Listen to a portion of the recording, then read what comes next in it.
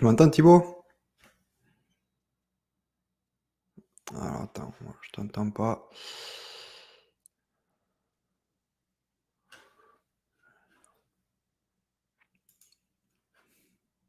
Attends, je t'entends pas, Thibaut.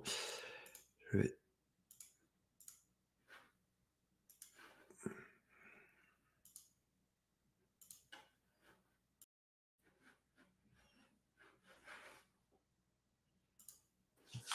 Que c'est bon là Ouais. T'as lancé le live? Ouais, ouais, c'est bon, c'est c'est Ok. lancé. Salut Thomas, salut Mamadou. Alors attends. Hop, on va régler ça. Alors, euh, je vais regarder sur YouTube si c'est parti. Diffusion directe.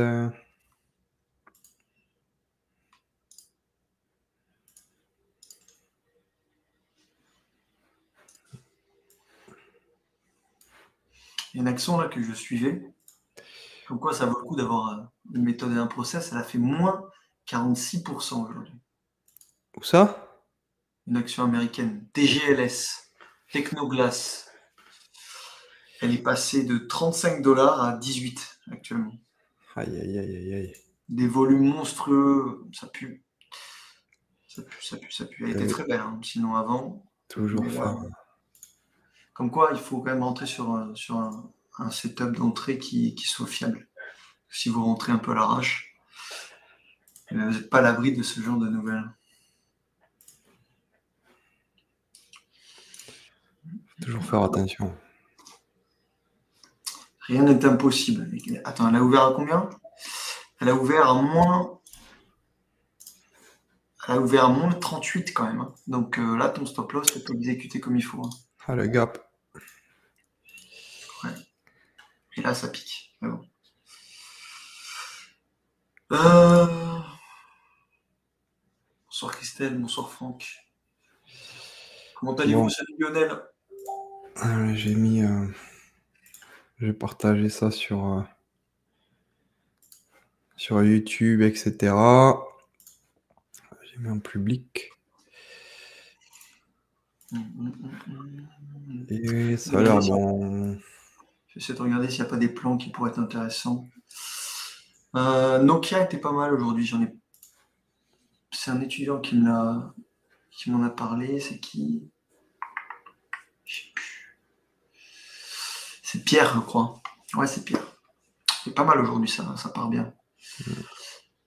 Euh,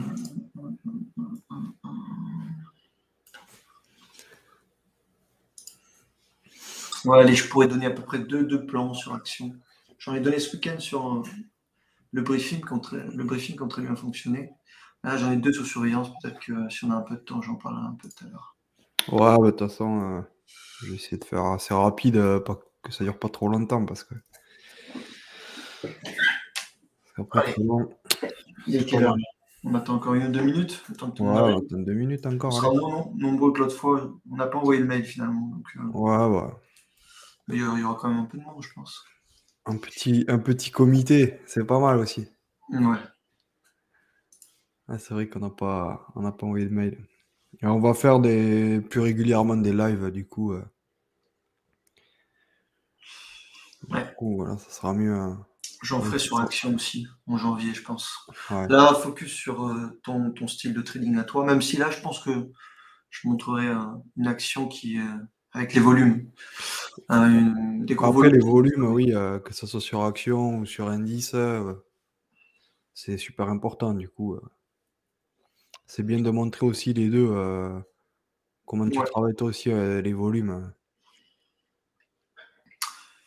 Là, je travaille beaucoup avec l'action du prix et les volumes viennent confirmer tout ça. Mm. Allez, on est parti, je pense que là, les gens vont arriver au fur et à mesure. Je coupe mon micro et puis je le rallume quand il y a des questions pour t'in- t'interrompre. Ok? Ouais, bah tu me dis, ouais. Alors attends. euh. Alors, alors, alors, je vais vous faire voir en premier, parce qu'en fait, il y a plusieurs, euh, plusieurs sortes de volumes. Il y a les volumes euh, horizontaux et les volumes verticaux. Les volumes horizontaux, je vais les faire voir, je vais pas m'éterniser dessus. Thomas, juste pour répondre à Thomas, ouais, on veut essayer de faire ça au moins deux fois par mois à l'avenir. Après Noël, on va dire, hein, parce que là, peut-être qu'on en fera un la semaine prochaine, éventuellement. après, il y aura deux semaines, deux, trois semaines de pause. Et puis en janvier, Pascal sera sur la chaîne YouTube DMT pour la défi mais on pourra quand même faire des lives nous aussi. Donc il y aura pas mal d'activités en janvier, février aussi. Donc on va essayer de faire ça plus, plus régulièrement avec des exemples, des cas concrets, des trades présentés, mais pas que, aussi expliquer des petites astuces, ce genre de choses. Allez, je te laisse la main. Ouais, exact. Oui, c'est important de le, préciser. Alors, diaporama, vous voyez bien là? Ou c'est petit? C'est petit. C'est petit, alors attends. ça vais essayer peut-être de faire, euh, de, faire autre chose.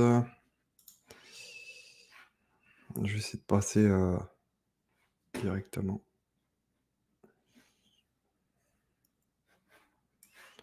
Parce que là, c'est vrai qu'avec... Euh, alors... Plein écran, ouais, non plein écran, je peux pas. Sinon, vous n'allez pas voir grand chose. J'essaie de le partager comme ça. Euh, vous me dites si vous voyez mieux, parce que sinon, euh, via PowerPoint, euh, c'est vrai que mon écran est tellement grand que si vous n'avez pas un, écran aussi grand que moi, ça va être un peu difficile. Alors, photo, ok. Là, vous voyez mieux Parfait. C'est mieux là? Ok. Alors, euh, je vais vous présenter d'abord les, volumes horizontaux. Les volumes horizontaux, moi je m'en sers vraiment de support de résistance. C'est, euh, je m'en sers pas vraiment de, pour, détecter, euh, détecter vraiment les, les configs ou etc. Mais en fait, je veux savoir où et à quel prix il y a beaucoup de volume et moins de volume. en gros, pour vulgariser vraiment la chose, hein, euh, là où il, y a, il va y avoir beaucoup de volume, ça va être les zones où ça a beaucoup rangé, où le prix a beaucoup travaillé dans ces zones-là. Et le prix où il y a du faible volume, là, ce sera les zones qui ont été traversées rapidement. Donc, si on vraiment veut vulgariser ça, euh, ça va être euh, en gros les zones où il y a beaucoup de volume, c'est les zones qui intéressent beaucoup les institutionnels hein, parce qu'elles sont beaucoup travaillées et les zones à faible volume, ce seront des zones qui n'intéressent pas forcément beaucoup les institutionnels puisqu'elles sont traversées rapidement pour aller euh, vers une autre zone de gros volume. Et en fait, on arrive à le voir hein, assez clairement en bleu là. Sierra Chart, moi, me trace les zones de faible volume. Et en gros, entre ces zones-là, il y a des zones de gros volume. Alors plus ou moins, hein, ça dépend. Euh, si on est sur des plus hauts, forcément, ben, les zones de, gros volume seront forcément plus petites hein, que si euh, on redescend là où y a, ça a beaucoup travaillé pendant des années. Mais en gros, ça donne des zones et ça borne c'est censé borner en gros un range. Donc du coup, quand on arrive dans ces zones-là de gros volume, en gros, moi, je sais que la zone de gros volume se termine ici, en gros, puisque on a un creux, un creux ici, donc ça me borne un range. Bon, après, c'est plus ou moins, c'est pas, voilà, c'est pas au millimètre près, mais euh, ça, borne quand même le marché et ça nous aide à avoir une vision du marché assez bornée. Parce que ça, c'est vraiment pas facile des fois d'avoir euh, un, une, un, marché qui est borné euh, efficacement. Alors là, c'est pareil. Hein. C'est euh, les vallées, là, on les a avant que le marché arrive sur que le marché travaille, hein, donc c'est très utile. Alors, vous voyez ici, voilà, hein, ça borne quand même assez bien le marché. Et on en est, hop, on arrive à casser. Et quand on réintègre, généralement, voilà, on sait que on va aller retravailler dans cette zone-là. Et pareil, hein, quand on atteint des zones de gros volume comme ça, et que on arrive à traverser la zone de plus gros volume, hein, c'est-à-dire ici, généralement, on va aller au moins s'arrêter, heu, aux 50 du du gros volume. En fait, ça fait ça fait quelque chose comme ça. Voilà, hein, ça fait des creux, des bosses, des creux, des bosses et quand on arrive généralement sur, heu, un pic de volume, en règle générale, on va essayer d'aller chercher les enfin, c'est pas les 50% mais c'est le creux de volume, pour aller chercher l'autre pic. En fait, ça nous borne le marché et ça nous fait, en fait, des un bornage beaucoup plus efficace que si on le faisait à l'œil nu parce que, heu, les volumes sont beaucoup plus pertinents, quoi. Heu et ça, enfin, à la main, heu, c'est à l'œil nu, on on pourrait pas le faire. On arrive à voir les zones graphiques et cetera, mais c'est assez compliqué. Alors moi, voilà, je m'en sers un peu comme ça, des volumes. J'essaie de revenir. Heu, non, je veux pas enregistrer. Je m'en sers un peu comme ça, les volumes, à de prix, mais c'est vraiment pour borner le marché. C'est pas pour prendre des setups et cetera. Ensuite, s'il y a des setups, je vais je vais aller, heu, sur des unités de temps plus inférieures pour essayer de les prendre, hein, pour entrer vraiment avec, heu, hem, un stop le plus faible possible. Mais ça, voilà, c'est ça nous donne juste des indications, on va dire. Ensuite ensuite, voilà, ça, c'est un peu plus dézoomé, hein, c'est pareil, hein, c'est un marché, c'est ça, c'est le Bund. Heu, c'est l'Eurobond, vous voyez, ça ça fonctionne quand même. Ça nous permet d'avoir les zones. Ensuite là, c'est marché, heu, très dézoomé, pareil, c'est l'Eurobond, mais j'ai encore plus dézoomé et en fait, voilà, ça permet d'avoir un bornage. C'est juste pour vous montrer, en fait, la pertinence, heu, des creux de volume, hein.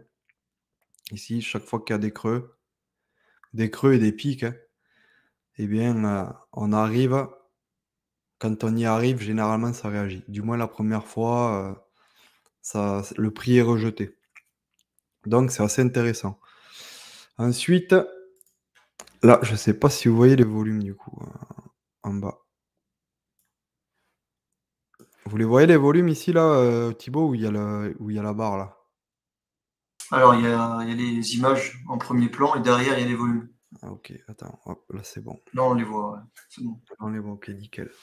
Alors ça, c'est le 30 minutes avec les volumes. Alors moi, les volumes, j'ai ma barre de volume, heu, en vert, hein, couleur de la bougie ou en rouge ici et par-dessus, j'ai les volumes de des achats et des ventes. Alors les volumes des achats, je les ai mis en bleu comme ça, on les voit sur le côté et les volumes des ventes, je les ai mis ici, voilà, c'est au milieu.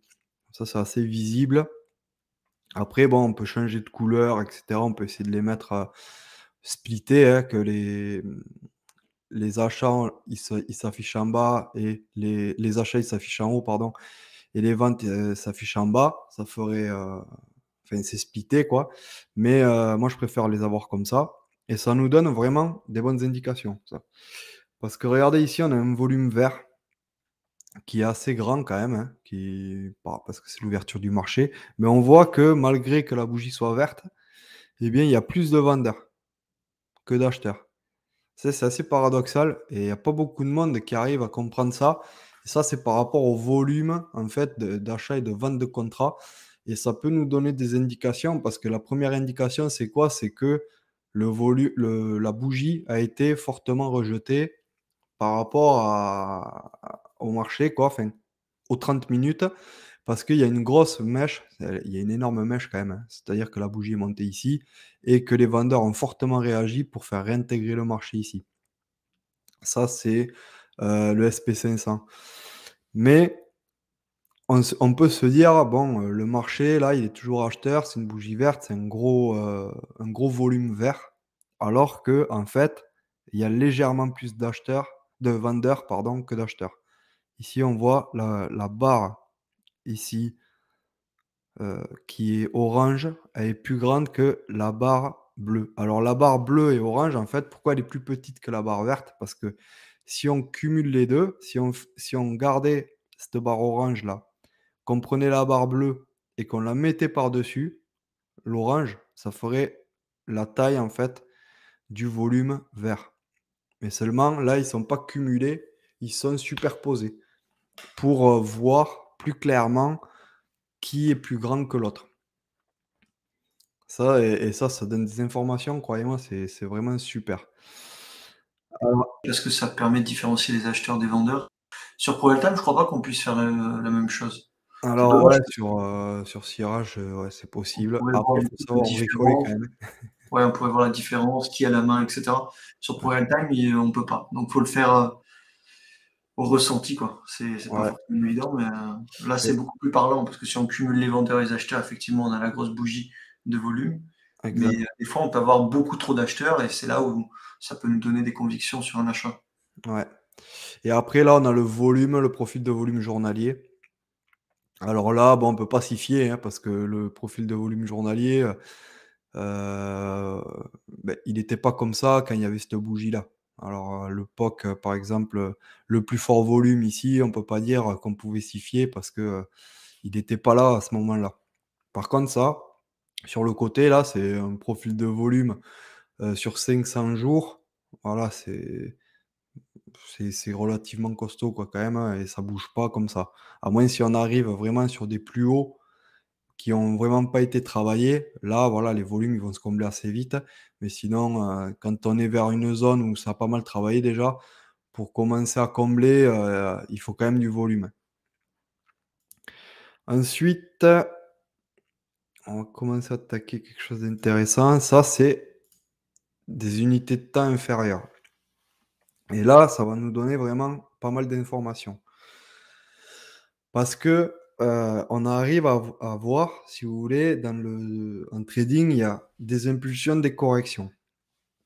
Si vous avez une impulsion, ça veut dire que le marché veut vraiment aller euh, dans cette direction. Par contre, parfois, on a des corrections, euh, mais sans conviction, si vous voulez. On se dit que le marché se retourne, et en fait, pas du tout. Le marché fait juste une correction. Euh, souffle un peu pour repartir ensuite dans le sens de la tendance. Ou alors, euh, des fois, le, marché essaie de se retourner, on pense que c'est une correction, on veut continuer à aller dans le sens de la tendance et on se fait avoir. Et là, en fait, avec les volumes, on arrive vraiment à voir ce que le marché veut faire. Et c'est vraiment une clé du trading, ça, les volumes. Pour moi, ceux qui n'utilisent pas les volumes, eh bien, euh, il, voilà, il, loupe quelque chose vraiment de, fondamental dans le trading.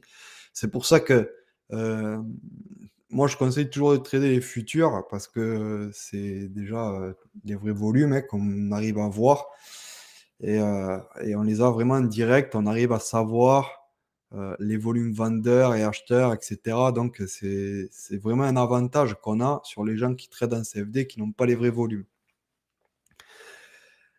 Alors, par exemple, ici, on a un range et à un moment donné, on a un énorme volume vendeur sur une bougie 4 ticks. Alors ça, c'est euh, des unités de temps vraiment, vraiment courtes. Donc, euh, voilà, là, il n'y a pas une journée. Quoi. Ça, ça doit faire peut-être une heure, euh, ce graphique-là. Et ensuite, on voit que Ici, c'est descendu fortement, qu'on a beaucoup plus de, qu'on a plus de vendeurs que d'acheteurs, mais on voit que c'est significatif quand même. Euh, ce, ce gros gros volume, il est largement supérieur à ces volumes-là. Donc là, on se dit déjà, attention, les volumes, il y a du gros volume chez les vendeurs. Et ensuite, on voit qu'ici, ça commence à remonter. Et ici, on n'a rien les volumes, ils sont vraiment ridicules. Donc, on sait très bien que ça, là, euh, les, acheteurs, les bougies vertes, eh bien, ils veulent même pas essayer de faire remonter le prix parce que sinon, ils essaieraient de mettre un peu de volume. Hein. Donc, on ne se fait pas avoir et on sait que ça, ce mouvement-là, c'est une correction. Ça, c'est assez important à, à observer parce qu'on arrive à ne pas se faire avoir, à se dire, bon, là, on arrive sur un valet, par exemple, c'est une zone de, de support, ça va rebondir. Ben non, parce que il n'y a pas de volume. S'il n'y a pas de volume, c'est qu'il n'y a personne qui pousse derrière, c'est qu'il n'y a pas de conviction sur ce mouvement. Là, c'est les, les vendeurs, ils ont mis le paquet. Ensuite, ils ont relâché un peu. Les acheteurs, ben, ils se sont dit non, non, on ne rentre pas. Parce que voilà, euh, il y a trop de volume vendeur et ils n'ont pas de conviction. Voilà. Et derrière, ça revient. Et au moment de casser ce, support-là, ils mettent encore du volume. Alors là, vu qu'ils sont dans le sens de la tendance maintenant, ils ont besoin de moins forcer. Donc, ils ont besoin de moins se mettre de volume. Ensuite, ils arrivent à casser. Et là, on a une petite correction. Mais qu'est-ce qu'on voit à la correction? C'est ça, ça c'est très intéressant. On arrive à, faire une correction. Déjà, le volume n'est pas top. Hein. Et au moment où ils auraient pu casser, ici, c'est un moment clé quand même. Parce qu'ici, ils cassent une zone de support qui devient résistance. Et là, s'ils arrivent à réintégrer ici, ben, les acheteurs, en gros, ils ont gagné euh, la réintégration. Hein. Donc, ce sera plus facile pour eux de retourner le marché. Et au moment de réintégrer, eh bien là, ils n'ont même pas envie de réintégrer. Et au, et au final, regardez, il n'y a qu'un tout petit volume ici. Et ce tout petit volume-là, il nous dit, euh, voilà, quand la bougie a clôture, hein, en gros ici, il nous dit, voilà, les, acheteurs essayent même pas d'aller attaquer cette zone de résistance. Donc là, on peut y aller, quoi, en gros. Hein. On peut y aller, on est vraiment en confiance. Et si on a pris, par exemple, ici un setup, hein, eh bien, euh, ça nous fait tenir notre trade, alors que peut-être on avait placé notre stop ici, sur euh, les plus bas. Voilà, on se serait fait toucher notre stop. Eh bien, là, vu qu'on sait qu'il n'y a pas de volume, on tient quand même notre trade. On arrive à tenir notre trade. C'est pour ça que des fois, moi, je recule mon stop euh, parce que par rapport à des volumes comme ça, on, est obligé de tenir notre, trade parce qu'on sait très bien que ça va attaque pas, donc ça va se retourner. Et derrière, qu'est-ce qu'ils font? Ils mettent un gros volume et ça descend fortement. Et ensuite, bon, ça commence un peu à, contre-attaquer, ça redescend et on voit que les, vendeurs là, ils attaquent, mais euh, au moment de, casser en fait cette ligne, cette, ce support. Voilà, ça attaque pas plus que ça, ils n'arrivent pas à passer. Et ensuite, voilà, ils, en gros, ils ont atteint leur target. Hein. Donc là, ils, ils attaquent plus. Il n'y a plus de vendeurs. Hein. Les vendeurs attaquent plus. Ils ont de moins en moins de volume. Et là, c'est les acheteurs qui passent à l'attaque. Les acheteurs passent à l'attaque avec un gros volume hein, qui, est pas, qui, est, qui est quand même assez fort. Et ensuite, à ce niveau-là, là, euh, ce niveau de cassé, hein, les volumes réduisent, mais on voit que les vendeurs, ici, ils attaquent pas à la baisse. Et c'est ça qui est intéressant, qui doit mettre la puce à l'oreille. Hein. Ça, ça va mettre la puce à l'oreille, comme quoi, ben, en fait, ils défendent plus la baisse, là, les, vendeurs. Vraiment les acheteurs qui ont repris la main. Et ensuite, on voit que, théorie de dos, les plus bas font des plus hauts, etc. on fait une espèce de triangle de compression, ça, ça, ça, le prix s'enferme. Et ensuite, voilà, ensuite, voilà, il y a du volume à la hausse et ils arrivent à repartir à la hausse. On voit qu'après, euh, voilà, ça défend pas. Ici, on a les vendeurs, ils sont ici, hein. il, leur manque peu pour casser cette, zone de, support et ils y vont pas. Hein. Ils y vont pas ici, regardez, il y a un volume qui est vraiment ridicule. Et derrière, euh, les acheteurs en profitent et ça remonte. Et là, ici, pareil. Ici, pareil, les, vendeurs, ils sont pas très loin ici de cette zone de support. Et ici, eh ben, il n'y a pas, pas grand-chose. Hein. Les, vendeurs n'attaquent pas. Donc ça, c'est assez important. Hein. parce que quand on est près d'une ligne de support de résistance, normalement, si on veut passer cette ligne de support de résistance, il va falloir attaquer. Pour attaquer, il faut mettre du volume. Voilà. Et si quand on est près d'une ligne de support de résistance, ben, la partie adverse n'attaque pas. On sait qu'ils veulent même pas y aller, euh, euh, ils veulent même pas essayer de casser le, le la zone de support de résistance parce qu'il n'y a pas de volume. Et ça, derrière, ben, nous, euh, on arrive à prendre des petits trades comme ça. Hein. Alors, soit ça part vraiment assez loin et on arrive à faire un intraday, mais ou alors des fois c'est des petits mouvements comme ça, mais c'est vraiment sympa parce qu'on est vraiment rassuré au niveau de, au niveau du trading. Quoi. C'est assez simple en fait de le voir si le mouvement, c'est une impulsion, une correction, s'il y a retournement. Voilà, quand quand on voit un gros volume comme ça, par exemple, regardez, hein, ici, on a des bougies qui sont pas trop mal, mais on n'a pas de volume, hein. Donc ici, on se dit: «Bon, ben, voilà, hein, c'est ils essaient pas de retourner le prix». Tandis qu'ici, on voit vraiment qu'ils essaient de retourner le prix parce qu'il y a un gros volume. Il y a vraiment un gros volume, heu, qui qui est pas négligeable. Ça, c'est très important à regarder. Alors ensuite, ensuite voilà, c'est une autre, cas ça c'est toujours, heu, le SP. Alors le SP, c'est un peu plus volatile, c'est un peu moins visible sur, heu, les volumes, il faut avoir un peu plus d'expérience parce que ça va plus vite en fait. Mais c'est que ça. Sinon les volumes, ils sont aussi pertinents. Et on voit très bien pareil, hein, qu'ici on a des volumes, heu, verts, hein. Ça monte, ça attaque et cetera et à ce niveau-là, là, le niveau de la vallée, on devrait essayer de mettre du volume, hein, pour casser, hein, comme on a fait, heu, comme on a essayé de faire ici. Ici, on a cassé, on a dû mettre du volume pour casser ce niveau et arriver là, on devrait mettre du volume pour casser il y a pas de volume. Et au final, là, les vendeurs, beh, ils essaient de de reprendre la main. Et à un moment donné, ici, ben voilà, ils commencent à mettre du volume, mais les vendeurs défendent aussi fortement. Et on a un gros volume vendeur avec une grosse bougie. Et ce qui est intéressant, c'est ce retour-là. Ce retour-là, ici, là, on devrait avoir vraiment un volume significatif, au moins comme celui-ci, hein, pour contre-attaquer les vendeurs. Puisque là, les vendeurs, ils, ont quand même mis le paquet euh, pour contre-attaquer. Et au final, heu, voilà, hein, les acheteurs là, ils contre-attaquent, mais heu, avec un volume qui n'est pas vraiment, énorme. Et en fait, derrière, hein, qu'est-ce qu'ils font les vendeurs? Là, ils remettent encore plus que les acheteurs. Ils, ont, un volume qui est vraiment, heu, supérieur. Et ensuite, hein, on voit que, heu, ici, ils essaient de contre-attaquer un peu à un moment donné, hein, les acheteurs, mais ça bouge pas le prix et au final Voilà, les vendeurs remportent largement la bataille parce que ça descend bien comme il faut, hein.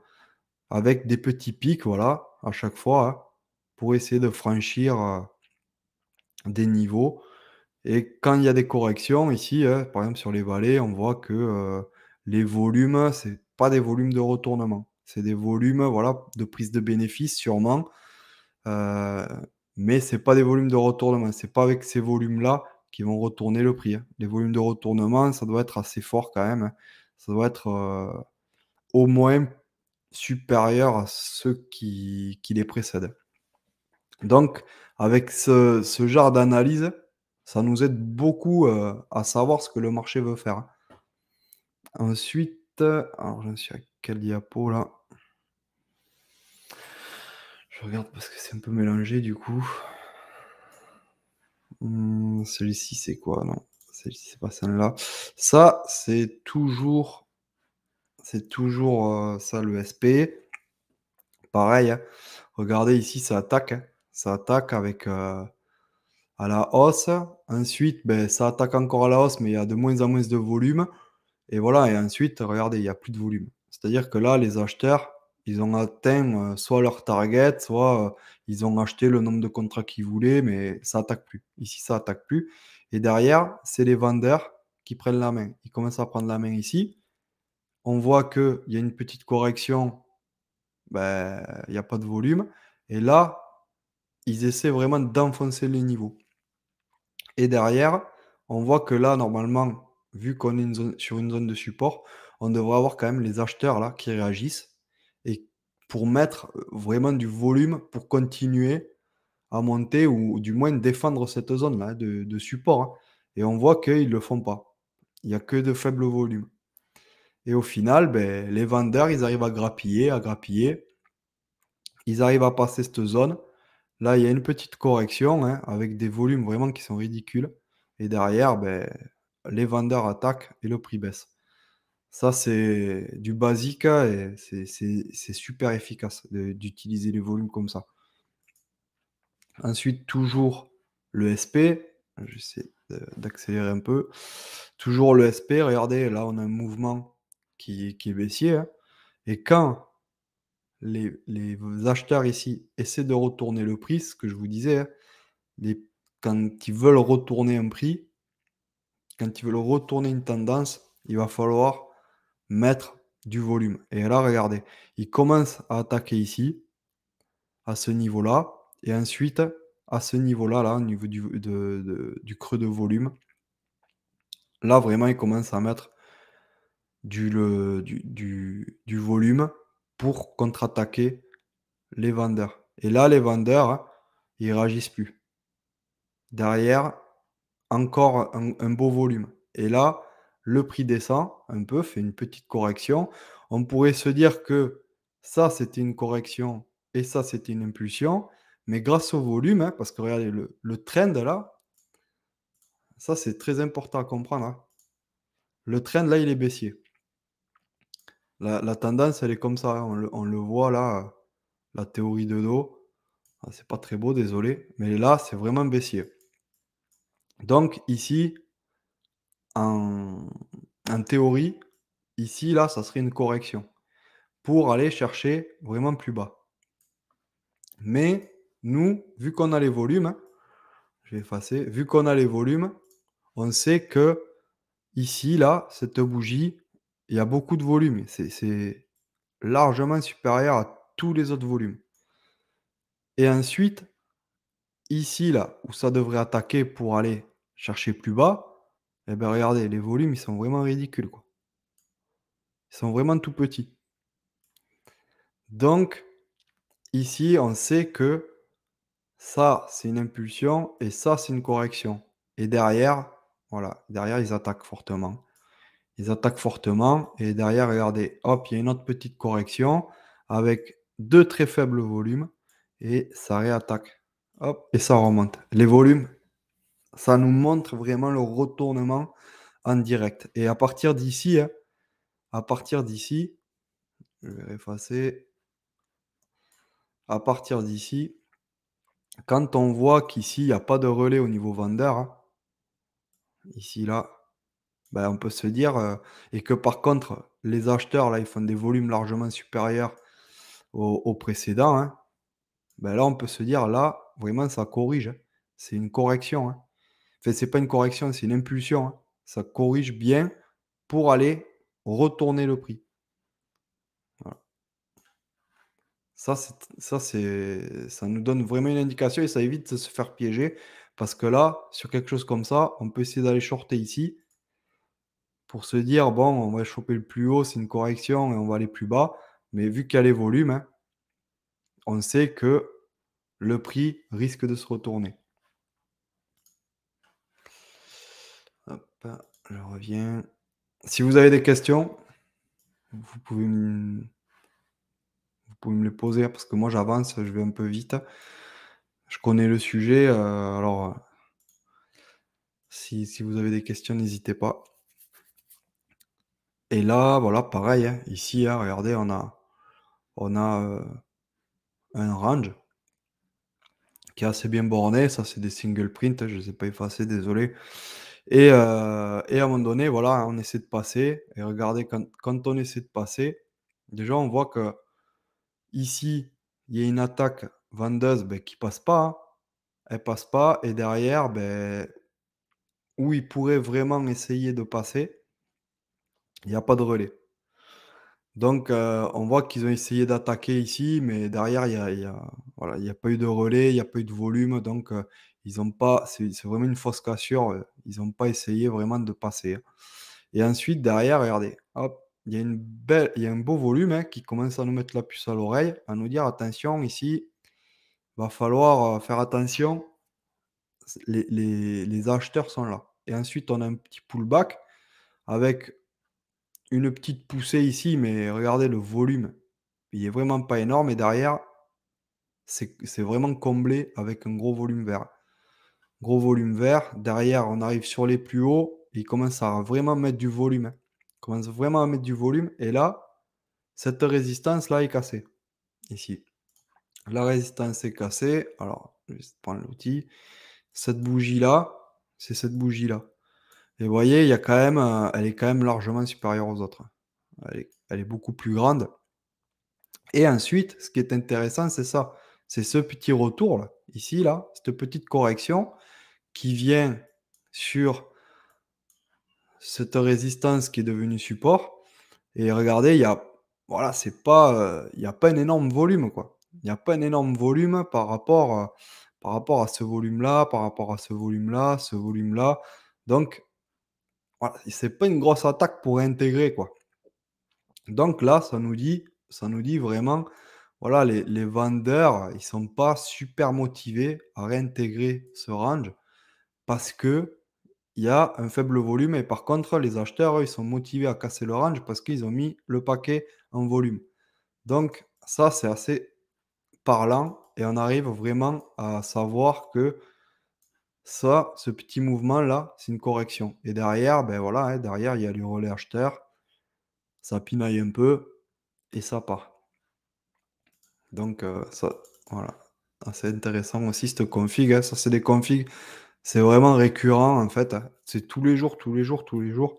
J'ai pas eu à aller chercher très très loin les, les exemples parce que c'est vraiment euh, quotidien. Hein, c'est une question de, Fernand euh, Vincent. Ouais. Alors sur quelle unité de temps tu euh, observes les, volumes et est-ce qu'on peut l'utiliser sur toutes les unités de temps? Donc en journalier, moi je les utilise par exemple pour mon swing sur action. Toi tu l'utilises sur quoi? Sur du 30 minutes? Alors moi, je l'utilise, euh, déjà, je regarde tous les matins, j'ai une routine de trading, je les regarde sur euh, du daily. Ensuite, parce que des fois, il y a des, il y a des pullbacks, des corrections daily. Hein. Bon, c'est plus long, mais je regarde sur du daily. Ensuite, euh, sur du 4 heures aussi, je, regarde, pas tout le temps, ça dépend. Et après, 30 minutes et 4 ticks réversales et une minute.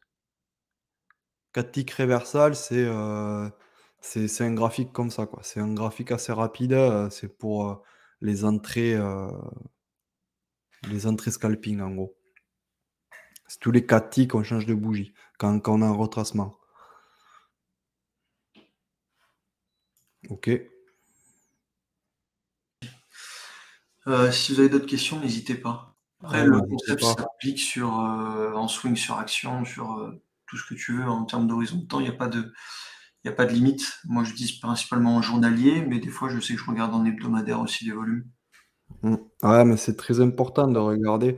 En fait, c'est un arbre de décision. Hein, quand, euh, quand on, moi, je regarde en daily, je prends la, la tendance de fond euh, et ça, ça m'indique vraiment, par exemple, si on a fait un pullback, si c'est si un pullback ou s'ils ont essayé de renverser la tendance.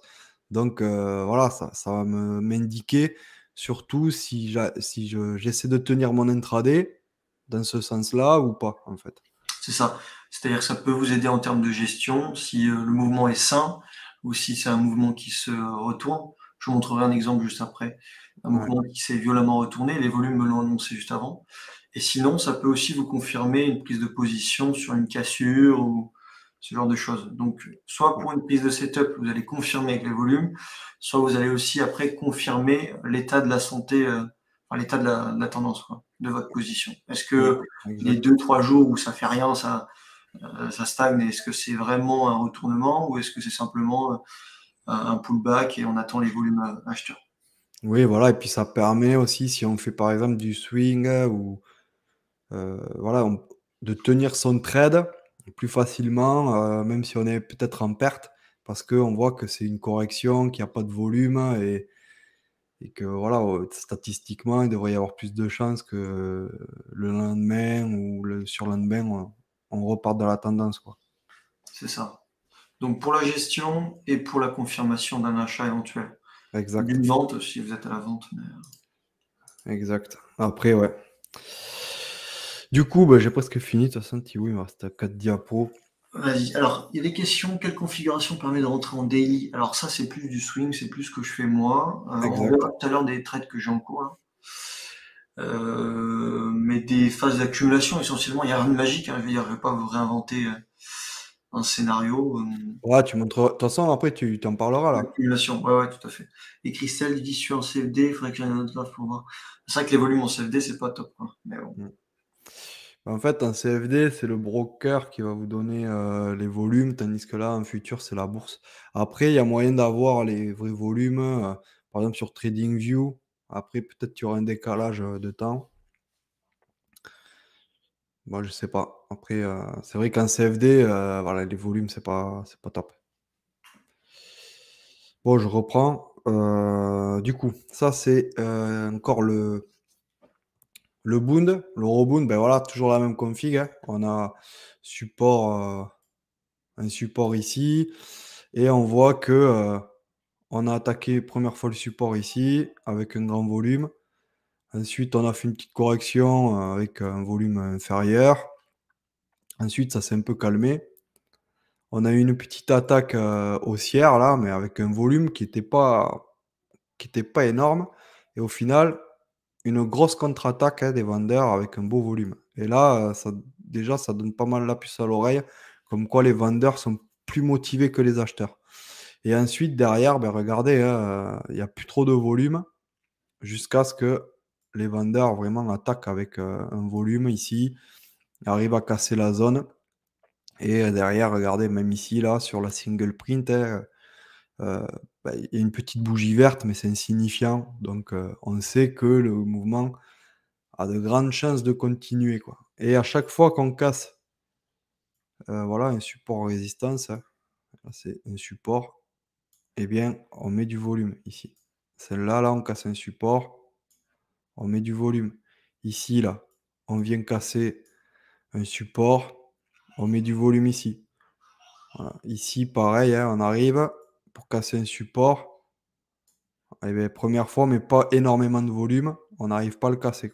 On fait une petite correction, mais regardez, sur la correction, on n'a pas beaucoup de volume. hein. Sur la correction, là, les, volumes verts, ils pas, euh, sont pas énormes. hein. Donc, on arrive à savoir que euh, qu'ils ne veulent pas vraiment corriger le prix. Ils veulent pas retourner la tendance. Vous avez vu précédemment, on a vu un retournement de tendance. Voilà, on devrait avoir des gros, gros volumes. Là, il n'y a pas, donc ça va continuer. Et ça nous donne vraiment euh, des informations précieuses parce qu'à chaque fois, là, on peut rentrer et à chaque fois, on peut essayer de renforcer. hein. On peut renforcer. Ici, moi, je vois ça, je renforce hein, à la baisse parce que je suis convaincu que là, euh, s'ils avaient voulu retourner le prix, eh bien, ils, ils auraient mis du volume. Et derrière, regardez, ils continuent sans vraiment trop forcer. hein, regardez, hop, hop, ils continuent sans vraiment trop forcer. Après, là, hop, on a une zone. Je vais effacer un peu tous mes dessins.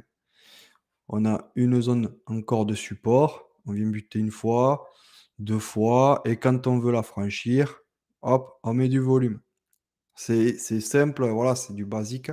Et c'est souvent, souvent, souvent, souvent comme ça.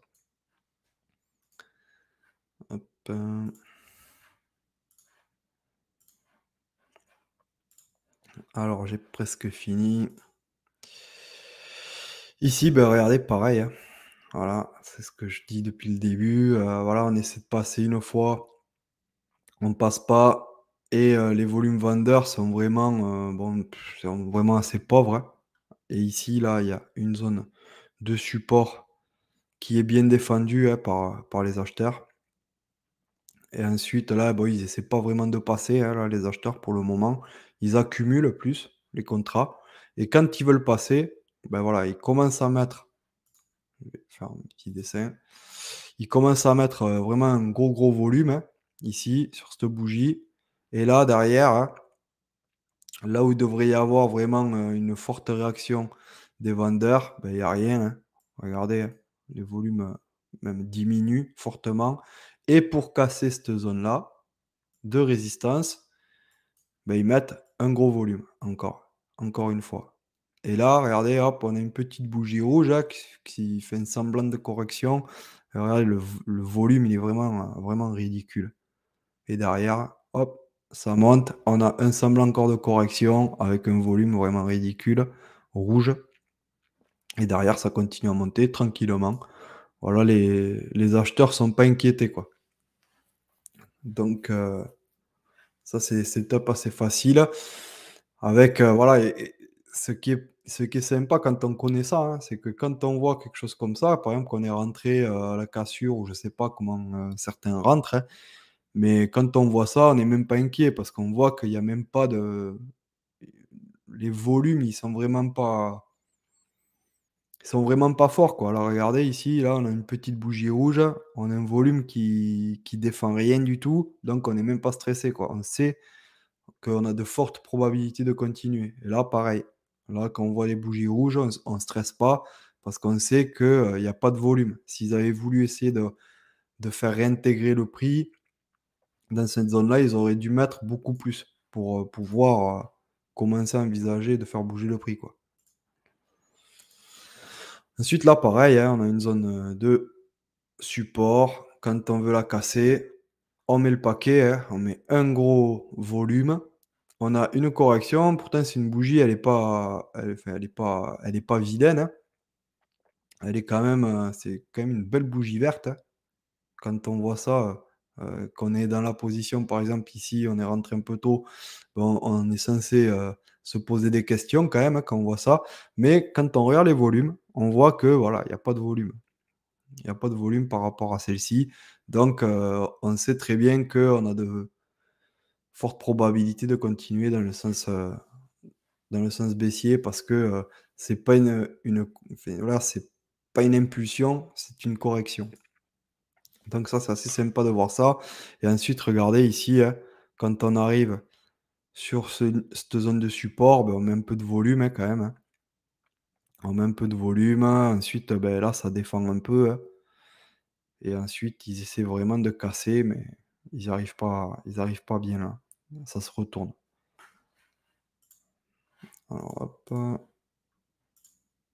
Et la dernière Dernière, pareil, hein. regardez, ici, on commence à il n'y a pas de volume. Ils commencent à vouloir attaquer cette zone de résistance. Ils attaquent avec un volume, hein. Ils mettent du volume. Ensuite, ici, ben, ça contre-attaque pas, hein, il n'y a pas de volume baissier. Ils réattaquent. Derrière, réaction des vendeurs, ben, pas de réaction. Et derrière, ben, les acheteurs, ils passent. Ils arrivent à passer assez facilement. Et voilà, il n'y a pas de même cette bougie là qui est assez grande, ben, il n'y a pas trop, trop, trop de volume, hein. Il n'y a pas assez pour retourner le le le train, on va dire. Du coup, ça latéralise et quand il y a une attaque ici, voilà, je pense que c'est les prises de bénéfices ici. Ben, derrière, il y a une contre-attaque vendeuse, hein. et derrière, bon, après ça se calme, hein, ça doit être, le marché, ça, doit être 18 et quelques, voilà, c'est pas un marché, super volatile. Voilà, voilà. Donc j'espère que vous avez compris quand même. J'essaie de prendre pas mal d'exemples. Je suis désolé, je me suis pas mal répété, en fait. Mais je voulais vraiment vous faire comprendre que les volumes, c'est vraiment quelque chose de très très important euh, quand on trade. Parce que, un, ça peut nous donner des setups. Deux, ça peut nous, garder la confiance de rester dans un trend. Ça peut aussi euh, nous faire reculer un peu nos stops. Moi, des fois, je vois qu'il y a une correction même si la bougie est un peu grande et il n'y a pas de volume, eh ben, du coup, je recule un peu mon stop. Euh, ça, ça, peut vraiment nous faire évoluer dans notre trading euh, assez significativement quand on commence à regarder bien les volumes. Et les volumes, on peut les regarder en une minute, en 4 ticks, en 30 minutes. Euh, voilà, ça servir de ça déjà pour son trading intraday, pas au-delà de 30 minutes. Et après, si on veut faire des plans, par exemple, savoir si plus gestion, hein, savoir si on tient nos trades ou pas, plus dans un sens ou plus dans l'autre, ben voilà, je me sers plus du 4 heures et du daily. Voilà. J'espère que j'ai été assez clair. clair. Ben, je vais vous expliquer le même concept sur Action. C'est exactement la même chose, plus sur des UT longues évidemment. Après, on peut travailler à court terme les actions. Euh, je partage mon écran. Ah, attends, je déconnecte Skype, sinon ça euh, je vais vous montrer deux trois traits dans le cours. Donc là, c'est un scénario, donc un actif qui est plutôt bien coté sur notre screener. Euh, donc un gros range hebdo avec une contraction de la volatilité des volumes. Donc ce que je recherche à chaque fois dans mon trading, euh, c'est une contraction du prix et des volumes. Voilà. Donc euh, ça, c'est primordial. Et vous voyez qu'ici, je l'ai noté. On peut grossir. Mais grosso modo, pendant toute cette période de latéralisation, euh, collée à la bande haute, hein, finalement, on a une contraction des volumes et il n'y a quasiment plus rien qui se passe hein, ici. Hein. On est sous la moyenne mobile à 50 périodes sur les volumes. Donc, bah, il n'y a plus personne, plus d'échanges. Et ça montre que les vendeurs ont complètement lâché avant. Dans une tendance, évidemment, qui est haussière. Euh, quand vous avez des pics de volume comme ça, bah, souvent le cas, c'est des institutionnels qui rentrent pour soutenir le mouvement. Et euh, derrière, quand vous avez des creux de volume, bah, c'est là où euh, il n'y a plus de vendeurs, en fait. Donc, ce que j'ai attendu sur ce scénario-là, c'est qu'on break cette double résistance avec la contraction des volumes et la contraction du prix, et que finalement on ait une explosion de volatilité uniquement à ce moment-là sur la rupture. Et du coup, euh, je suis rentré, donc on a eu un gap de rupture, euh, je suis rentré sur le mini pullback ici avec un stop là, et puis là on est bien parti pour toucher mon risk de 3, 3, 3,5. Mais pour revenir au volume, donc les volumes me servent euh, sur l'analyse du scénario, donc des institutionnels qui rentrent sur ce niveau-là, euh, à ce prix-ci. Après, j'attends une contraction des volumes quand j'ai la contraction de la volatilité. Ça, c'est vachement important pour vraiment avoir une explosion derrière. Et derrière, une explosion des volumes euh, quand vous rentrez à l'achat sur la cassure. Ok, donc euh, trois scénarios différents, des institutionnels qui rentrent au préalable, une contraction des volumes lors de la latéralisation et après une explosion des volumes euh, lors de la cassure et quand vous rentrez en position. Et derrière, euh, un quatrième, étape dans la, gestion avec les volumes, c'est qu'aujourd'hui, vous voyez, on, on, a commencé par descendre et puis on est en train de faire une mèche, rien de bien inquiétant, mais surtout qu'il n'y a pas de volume aujourd'hui. On a eu des volumes hyper haussiers lors de la cassure et des bougies précédentes quand on a eu cette cassure et ce mouvement qui s'est lancé. Et euh, aujourd'hui, on a eu une petite latéralisation finalement, on a zéro volume. Il n'y a, rien. On n'a même, pas, même pas atteint le, volume moyen. Euh, et on est pourtant quand même pas trop, pas trop éloigné de la fin de la séance. Il nous reste quelques heures, mais on n'est même pas à, la moitié euh, par rapport au, volume moyen. Donc ça montre qu'aujourd'hui, ça descend, ça monte, mais il n'y a pas de vendeur. Donc ça, c'est pour votre gestion. Donc ça, c'est un trade en cours. Donc plusieurs utilités hein, du volume. Hein. Je vous les répète, les institutionnels qui rentrent, vous donne une information comme quoi ils sont en train d'accumuler le titre en portefeuille. Euh, deuxième information, c'est une contraction des volumes lors de la latéralisation juste avant la cassure. Troisième étape, expansion des volumes euh, lors du break de cette accumulation et de ce range. Et quatrième étape, gestion de la position avec vos volumes. Euh, aujourd'hui, il n'y a pas de volume baissier, alors qu'on a pour quand même un peu bougé sur le titre. Ok? Donc ça, c'est le premier scénario. Est-ce que c'est bon pour vous ou pas? Je fais assez vite, on va faire des lives assez courts, euh, ça va faire bientôt une heure. Ah, désolé, j'ai monopolisé le. non, non, non, mais à la base, c'est pour la formation à Vincent, c'est pour expliquer un peu ce qu'il fait. Donc... bah après, voilà, c'est en fait, les volumes, ça se rejoint, que ce soit sur. Toi, tu les utilises à plus long terme, mais c'est exactement le même principe. C'est ça. Alors, Juan, tu regardes aussi Mansfield. Alors, Mansfield, c'est une autre stratégie. Là, c'était une stratégie, euh, ça peut être, c'est une accumulation, quoi, si tu veux, hein. soit sous euh, euh, triangle, soit sous latéralisation horizontale. Donc, c'est une stratégie bien à part, mais Mansfield, c'est une autre stratégie. Et là, je vais regarder les volumes, effectivement, mais, mais du coup, ça se fera en hebdomadaire. Mais je ne le confirme pas avec Mansfield pour cette stratégie-là, hein, Juan. C'est deux choses différentes. Je fais pas un mix des deux. Évidemment, je sais que c'est haussier, mais c'est tout, quoi. OK? C'est bon pour tout le monde pour ce trade-là? Donc, qui est toujours en cours. Euh, je ne sais pas jusqu'où je vais le tenir. Pour l'instant, ça tient bien. Les volumes sont plutôt bons.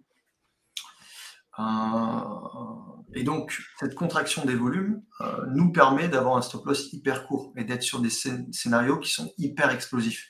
Ce scénario-là, on l'a vu en briefing, c'était samedi, et je me suis dit, il y a quelque chose à faire. C'est vachement joli, une belle contraction des volumes. On risque d'avoir un très bon risk-reward et si vous n'avez pas une contraction des volumes et une contraction de la volatilité, le risque reward est, compliqué. Alors après, il y a d'autres stratégies en investissement avec Mansfield, etc., qui ne nécessitent pas une contraction, qui nécessitent d'autres aspects, mais la plupart du temps, si vous voulez avoir un bon risk reward, euh, il faut une contraction des volumes, puis une expansion. C'est OK pour vous? Donc les quatre étapes, voilà. Donc si on n'a pas les volumes, là, on rate quand même beaucoup d'informations. On aurait pu le trader éventuellement sans les volumes, parce que c'était assez joli techniquement, mais c'est mieux quand même. CCS. Alors, je, Alors CCS, un autre trade que j'ai pris la semaine dernière, qui va atteindre mon risque de 3 aussi. Alors rassurez-vous, je, fais des pertes. Hein. Je fais des pertes. Je vais pas non plus dire que je gagne tout le temps, c'est faux. Euh, mais là, cette, semaine, cette semaine et demie est bien plus sympathique qu'il y a deux semaines où là, il y avait un peu plus de volatilité. Alors, toujours même scénario. Euh, je vous explique un peu mes stratégies. De toute façon, c'est bien répandu. Euh, après, il faut, travailler, il faut avoir l'expérience. Vous avez un range. Ok, donc un double creux en hebdo, et puis vous avez une petite contraction de la volatilité. Alors cette fois-ci, elle est légère, je vous l'accorde, mais, mais elle y est quand même elle n'est pas si belle que l'autre, on va pas se mentir, mais on ne peut pas tout avoir non plus en training, sinon on ne rentre jamais. Euh, donc on a cette petite phase de latéralisation sur euh, le haut du range, et puis on a des gros volumes quand on casse, et c'est là où je prends position.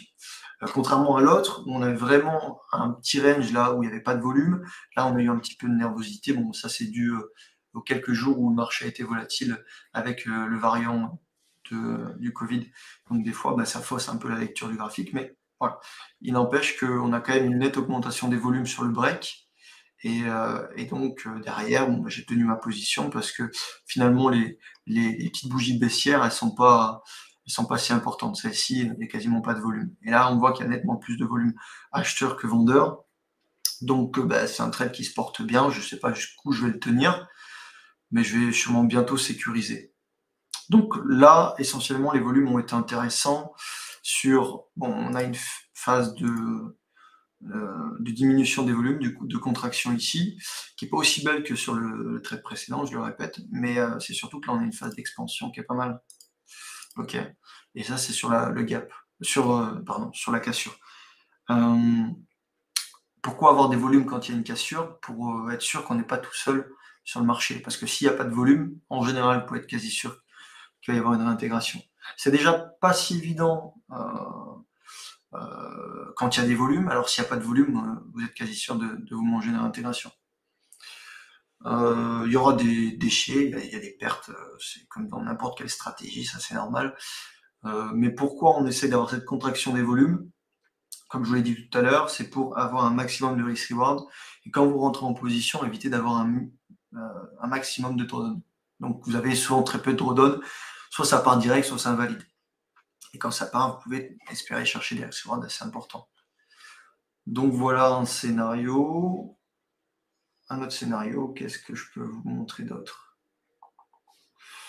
J'en ai un petit qui, se balade là, qui est pas trop trop mal. Euh, avant avant-hier, je crois. Avant-hier, ouais, je sais plus. Donc un peu de volatilité, puis là on, contracte. Euh, vous voyez ici, plus de volume. ok? On a des volumes là, et puis on n'a plus de volume. Et à ce moment-là, on commence à avoir des volumes nettement supérieurs. C'est pas énorme, hein, mais euh, c'est déjà supérieur à ce qu'il y avait avant. Euh, là, on a vraiment une diminution des volumes. Et quand on a le break, le break, il a lieu ici, sur cette bougie-là. Donc on est euh, tout juste sur la, la moyenne à 50 périodes. Donc c'est mieux que ce qu'il y avait là, mais c'est pas non plus exceptionnel. Tout ça pour vous dire que bah, en trading, pas avoir tous les, euh, tous les éléments qui s'alignent tout le temps. Quand c'est le cas, bah, c'est magnifique, on se régale. Mais, euh, mais c'est pas tout le temps le cas. Donc voilà, peut-être que je peux vous présenter deux, trois scénarios en attente, si vous voulez vous amuser, euh, vous amuser ou pas, vous faire ça sérieusement. Mais il y a des choses à faire. Alors je regarde juste s'il y a des questions. Questions, c'est Non tant que pas trop long le live. Il n'y a pas de Du coup, euh, ouais, c'est comme Vincent, c'est la même chose, en hein. contraction, expansion, contraction, expansion. Quand vous avez des gros volumes baissiers. Ah oui, il faut que je vous montre un, En fait, euh, euh, quand, quand, on rentre dans, dans, un trade, voilà, nous, on n'a pas les moyens de faire bouger le marché, rien du tout, donc il faut rentrer vraiment avec des institutionnels. Et, et, nous, en fait, ce qu'on fait, voilà, c'est on, se met derrière les institutionnels et on, voilà, on prend l'aspiration, quoi.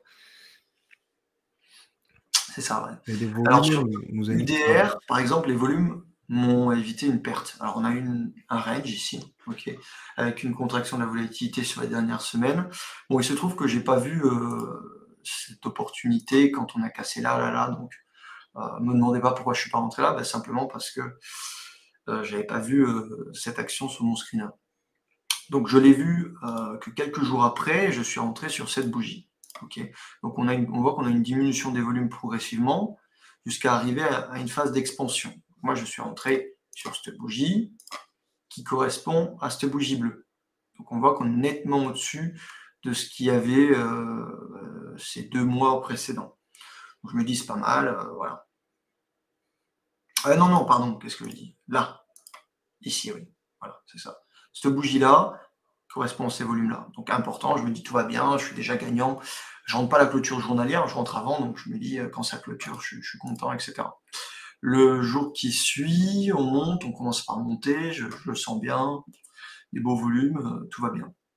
Et puis, euh, mi-séance, fin de séance, on voit ben, ici que les vendeurs reprennent la main, puisqu'on est monté et puis on laisse une grosse mèche et on clôture quasiment sur les plus bas. Alors ça, je l'ai vu à la fin, mais quand on était proche du point d'entrée, du point d'ouverture de la journée, pardon, ben, j'ai vu des gros volumes anormaux ici je me suis dit, ça pue. Euh, étant donné que moi, je mets des stops hyper courts, je ne peux pas me permettre à, ce que l'actif aussi trop longtemps euh, proche de mon point d'entrée. En général, c'est pas bon, ça pue pour mon, stop loss.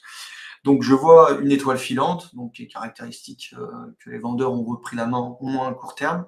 Mais c'est surtout, voilà, c'est les volumes qui m'ont fait sortir du trade flat parce qu'on a des volumes complètement anormaux ici. Et ça, c'est pas bon du tout. Mm. c'est pas bon du tout ça peut dire qu'il y a des institutionnels qui sortent du trade, etc. Donc moi, ça ne me plaît pas. Je suis sorti, euh, ouais, j'ai gagné quelques dollars, mais flat, grosso modo. Et, euh, le lendemain, ben, on fait moins, moins 5% quasiment en ligne droite. Moi qui ai un stop court, je me serais fait sauter, ça c'est clair et net. Alors vous allez me dire, oui, c'est reparti. Effectivement, c'est reparti. Donc le scénario était bon, mais il n'était pas évident à trader. En tout cas, avec mon timing et mon stop loss, ma façon de faire. Donc, la lecture des volumes sur ce coup-là m'a permis d'éviter un stop loss qui était assuré le lendemain, hein, puisque euh, j'étais rentré par ici, j'avais mis un stop loss sur les 55-70. Je mets des stop loss hyper courts pour avoir des risques assez facilement, facilement atteignables. Et derrière, bon, bah, on fait moins, moins 5% sur la journée euh, suite au, gros volume. Donc ça, c'était quasiment prévisible. Hein. Vous regardez les volumes, vous voyez des grosses bougies euh, de volume haussière, c'est plutôt des institutionnels qui rentrent, donc c'est bien de suivre. C'est pas un setup en soi, hein, mais c'est bien de suivre. Et inversement, s'il y a une grosse bougie rouge qui fait, là, on a fait deux fois la, moyenne des volumes habituels sur 50 périodes. Donc, euh, bon, là, je suis sorti flat et puis j'ai bien fait, puisqu'après, c'est revenu euh, sous mon stop qui était théorique. mais comme j'étais sorti, bon, ça n'a pas exécuté. Et puis après, ça s'est repris. Donc, le scénario était bon. Euh, mais je me serais fait stopper dans tous les cas. Donc la lecture des, volumes m'a évité une perte de 1. Voilà. Après, voilà, j'aurais été stoppé sans cette lecture des volumes. S'il n'y avait pas eu les volumes, bah, je me serais fait stopper. Et puis tant pis, ça serait reparti. Et, je pense pas que je serais rentré, peut-être, mais j'en suis pas sûr. Mais là, euh, comme quoi les volumes c'est important puisqu'on reste sur ce sujet-là. Ouais, puis c'est très parlant, quoi. Sur, ce, sur cet exemple-là, euh, c'est flagrant. Ouais, alors Fernand, oui, graphe journalier, graphe hebdomadaire. Ok. Euh, l'hebdomadaire, c'est pour voir l'action du prix à plus long terme, euh, d'observer ce que je recherche en termes de configuration. Et le journalier, c'est plus euh, pour confirmer. Et, et dès qu'il y a une alarme qui sonne, je vais voir le journalier à quoi ça ressemble. Donc là, vous avez vu trois trades. Un qui aurait pu se transformer en perte, mais comme on a lu les volumes, eh ben, on l'a évité, même si l'actif repart derrière. Euh, et deux qui sont en gain, qui ne sont pas clôturés, donc rien n'est gagné pour le moment, euh, mais qui sont sécurisés flat, rassurez-vous, et euh, qui, ben voilà, on a eu les quatre phases, au moins sur le premier qui était magnifique, sur le deuxième un petit peu moins, mais il y a quand même des, phases de contraction et d'expansion. Donc les volumes, ça marche sur toutes les unités de temps. Et le volume, ce qui est intéressant dans le volume, c'est le VWAP, donc c'est la moyenne des volumes. Euh, et, c'est intéressant parce que ça, c'est vachement, utile, surtout pour de l'intraday. Hier, j'étais en coaching avec, euh, des étudiants. Il y avait Pierre qui, euh, me parlait du VWAP. parce qu'on parlait du VWAP journalier. Mais, et puis, voilà, je leur explique un petit peu comment ça se passe. Et j'aurais montré une valeur qui était dans le palmarès US qui montait fortement.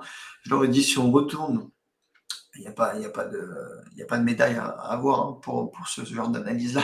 Si on retourne sur le VWAP, euh, donc le VWAP, c'est l'avantage par rapport au moyen mobile, c'est qu'il y, en a un seul sur toute la séance, peu importe euh, l'unité de temps que vous avez. Donc en 15 minutes, en une minute, le VWAP sera le même. C'est ça qui est intéressant, c'est que vous avez un niveau, peu importe l'unité de temps. Et du coup, bah, j'ai dit, je mets une alarme sur ce VWAP et puis on va voir s'il y a un, rebond qui se fait. Puis après le, coaching, je sais pas, une demi-heure après, ça sonne et effectivement, on s'approche du VWAP. Et euh, je suis revenu une demi-heure après, et puis on a fait un pullback sur le VWAP. Donc les volumes, c'est vachement important. Et d'où l'utilité du VWAP pour de l'intraday, c'est que c'est basé sur les volumes aussi. Et il n'y en a qu'un, et, voilà, et ça marche super bien. Voilà, c'était une petite parenthèse sur euh, quelques swings en cours. Ouais, puis on voit que ça marche sur Action, sur Indice, sur, sur vraiment tout, quoi. C'est les volumes, c'est la force entre les acheteurs et les vendeurs. c'est ça, en fait. Hein, c'est... On arrive à voir, en gros, euh, l'offre et la demande. C'est super intéressant. Allez, on va répondre peut-être aux petites questions qu'il y a, puis après on va vous laisser, on va aller manger. On essaie de faire des petits sujets comme ça, une heure, une heure et quart euh, par pas trop long. Est-ce qu'il y a des questions du coup? Je sais qu'il y a un petit peu de latence, donc on va attendre 30 secondes le temps que vous receviez notre message. Hop.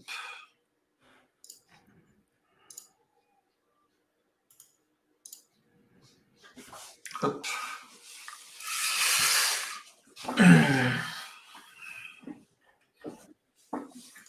Du coup, est-ce qu'il y a des, euh, des questions? T'as regardé sur YouTube? Je crois que j'ai regardé au début. Euh, il y a des questions sur YouTube. YouTube, euh, non.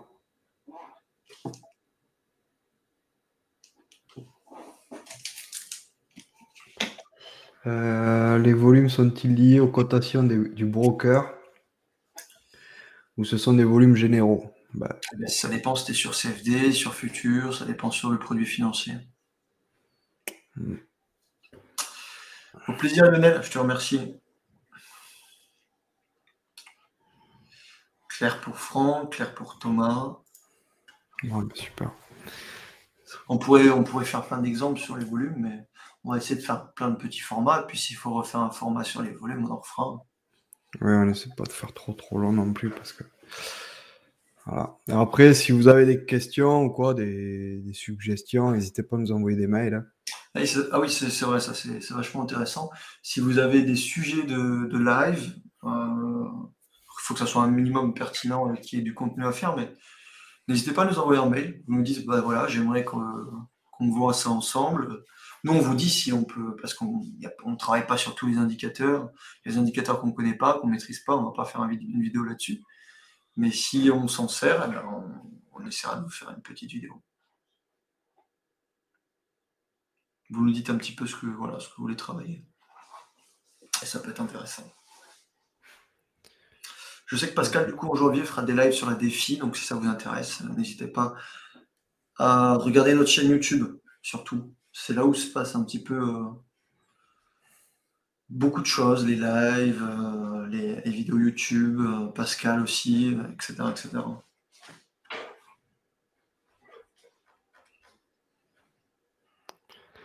Bon, bah, ok, pas de questions. Bon. Ouais, c'est qu'on a été clair. On a, pas été, on a, été bon. Hein.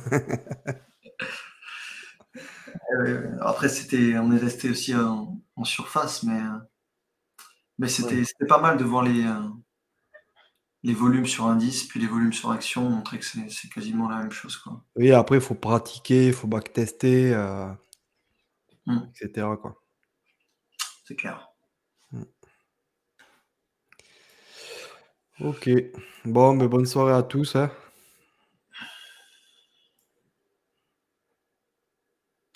Je peux vous, Allez, je peux vous mettre euh, deux tickers d'action que je surveille. Mais il faut savoir trader. Il faut savoir le, setup. Je peux vous montrer deux secondes vite fait. Euh. Il y a des promotions en cours pour Trading Pro. Ouais. Alors, BHLB. Même, euh, même chose. Donc là, c'est la même chose. On est en range et puis on est dans une phase de, compression. Là. Alors, les volumes sont un peu supérieurs, mais c'est dû à la volatilité du marché dans la globalité. On voit que ça contracte. Donc en dépassement des 29, vous pouvez. Vous, euh, c'est pas un conseil d'investissement, mais vous pouvez euh, vous intéresser au titre pour rester euh, large. Et la même chose sur CPF. D'ailleurs, ça c'est l'actualité, CPF. Vous avez un range et vous avez une phase d'accumulation sur le côté droit avec une, une phase de compression. Attention, les volumes sont encore trop trop énervés là. Ok. Au moins des gros volumes aussi, donc c'est plutôt bon signe. Mais il faudrait qu'on accumule sous cette zone de résistance encore un petit moment. Et vous vous inquiéterez en dépassement des 29 dollars. Ok. Donc BHLB et CPF. Ceci n'est pas un conseil en investissement. Parce qu'après, il faut le timing, il faut la gestion, et c'est pas juste une question. Il faudrait attendre que ça matérialise un petit peu. Mais voilà, grosso modo, vous avez deux, petites euh, actions sous surveillance. Et voilà. J'en ai donné quelques-unes aux étudiants en briefing, mais eux, ils sont avertis des risques. Donc moi, j'y vais mollo avec vous. OK? Et oui, le CPF sera normalement disponible la semaine prochaine. Ouais, et après, euh, Mamadou, il demande si on fait des promotions. Alors, c'est vrai que nous, on ne fait pas souvent des promotions. Le trading pro, qu'est-ce que tu appelles trading pro? Euh, Quelle formation? On ne fait pas beaucoup de promotions parce que on cherche pas à avoir un maximum d'étudiants non plus. Oui, voilà, on ne brode pas non plus. Je cherche euh. à rester en petit comité, surtout sur les formations coaching mais bon, euh, tu peux toujours nous envoyer un mail euh, sur tes besoins. Et oui, donc le, CPF sera prochainement disponible. On a trouvé un partenaire qui nous permet d'être éligible. Donc euh, voilà, il s'est chargé de. Alors, il y a Fifi sur YouTube, il demande il y a des bougies liées au volume. plus il y a de volume, plus la bougie est grosse. Non, on peut avoir une toute petite bougie avec un gros volume. Et au contraire, une grosse bougie avec un petit volume. Ça, ça veut... La taille de la bougie n'a rien à voir avec le volume. Coaching perso. Je pense pas, Mamadou. On reste en petit comité, c'est voilà, on ne veut pas faire non plus l'usine. on essaie que les gens aient un maximum de capacité derrière après. Quand on voit des étudiants, par exemple pour le concours, qui se démerdent super bien, bah, c'est c'est top, quoi. C'est la meilleure des récompenses. Donc, je pense pas qu'on serait capable de, de former à, la chaîne, ça serait pas possible. Donc, on après, beaucoup les réductions, d'où le prix aussi, parce qu'après, c'est un coaching deux fois par semaine, sans date butoir. Je veux dire, il n'y a personne qui fait ça, parce que d'un point de vue business, c'est pas intéressant. Mais nous, on le fait parce que bah, ça a toujours été la, volonté à DMT euh, d'aider les gens. On y retrouve notre compte forcément, hein. quoique des fois, on travaille beaucoup, mais. Euh, mm c'est sûr que... Après, oui, c'est vrai que si on veut faire de la qualité, euh, on peut pas faire de la quantité. Euh, et ça, après, euh, mine de rien, on filtre comment les gens, ben, c'est malheureux à dire, mais on est obligé de filtrer un peu par le prix. Mmh. Ouais, bah, puis après, il faut que la société s'y retrouve aussi un minimum. Vu le nombre d'heures qu'on y passe. Oui, voilà. Après, si on veut faire les choses bien, être présent pour, pour les gens, avoir, faire quelque chose de minimum de personnalisé, bah voilà, on peut pas être. Euh, tu voudrais nous voir en Bulgarie. Alors nous, euh, moi j'ai vécu deux ans et demi en Bulgarie avec Pascal, et euh, Antoine à l'époque. Et là, on est en France tous les deux avec Vincent, mais on, risque de retourner en Bulgarie pour aller voir Pascal quelques jours. Mm. Mais, mais bon, tu peux aller en Bulgarie, Pascal te, verra sûrement, il n'y a pas de souci, tu lui envoies un petit message et il sera ravi de, discuter avec toi. Et puis nous, c'était un passage, passage dans le sud. Hein. Euh, il y a deux semaines, on était en, séminaire avec, euh, avec quelques étudiants de la formation Action, alors en mini-groupe, hein, parce qu'il y a Covid, et puis, euh, et puis on a fait ça un peu au dernier moment, donc on était six ou sept, je crois. Et puis on se fait un petit week-end sympa, donc là, Vincent va faire le montage vidéo quand il a deux minutes, et on publie ça sur, sur les réseaux. On a fait quelques ateliers trading, et puis on a surtout bien mangé bien, et bien rigolé, donc C'est vrai que c'est sympa de voir les gens euh, en vrai. Eh ben oui, oui, c'est clair que. Ouais. Et puis on va, on va refaire ça, hein, si jamais ça vous intéresse. euh, de toute façon, on va essayer d'en refaire euh, assez régulièrement. Bon, pas, Ouais. tous les, pas tous les deux mois, mais au moins tous les euh, six mois, quoi. tous les six mois, ouais, on va refaire des événements. euh, et, Ouais. et voilà. Non, C'est c'est vrai- plutôt, c'est plutôt c'est sympa vraiment de voir les gens en vrai. Et puis, Ouais. même si on se voit à travers une caméra tout le temps. euh, Ah, c'est pas pareil. On Non. n'échange pas pareil et non, c'est vraiment sympa. Les, les événements comme ça, j'ai beaucoup apprécié. Ouais, ouais, on c'était, c'était sympa. Très bonne entente. Des profils complètement différents. Personnalités aussi complètement différentes. Mais euh, bah, comme quoi, une passion peut, peut réunir plein de monde et, et c'est sympa. Mm. T'habites à Toulouse, et ben monsieur est à, est à côté. Vincent habite euh, pas très loin. Ça, le pro vidéo. C'est Vincent qui fait le montage. Fait, j'essaye. hein. Quand j'ai le temps. On est un petit peu les couteaux suisses, faut qu'on essaye de se démerder à tout faire. Ouais. Voilà, écoutez, on vous remercie, euh, j'espère que ça vous a plu, et puis on vous souhaite un, un agréable fin de semaine, hein, presque, presque le week-end. Ouais. Et si on se revoit pas, ben, bonne, bonne fête. Ouais, on essaiera peut-être de faire un live la semaine prochaine, c'est pas dit, mais on essaiera. Sinon, bah, bonne fête effectivement à tout le monde. Ouais. Profitez bien de ce moment pour euh, bien manger, profiter de la famille. C'est c'est quand même des choses primordiales. C'est clair. Allez, bonne soirée à tous. Ciao, ciao. Bonne soirée, ciao.